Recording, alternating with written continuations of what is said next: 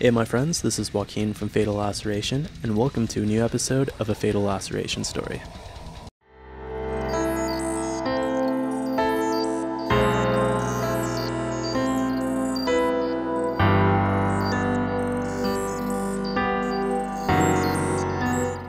Today, I'm going to tell you the story behind the medical horror theme of the band, and honestly, there's actually quite a bit of deep meaning behind it, but I'm just going to keep it simple for today.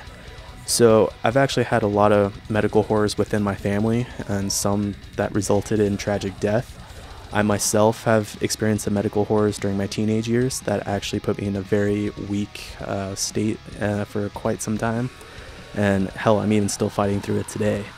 But the other side of that, though, is I actually have a few family members that work in the medical field, and they're the type of people that go above and beyond in their jobs. They're the type of people that give, you know, people who are going through a medical crisis hope.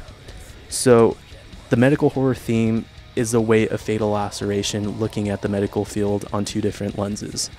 The first lens being the horrific side, and the second lens being the lens of hope.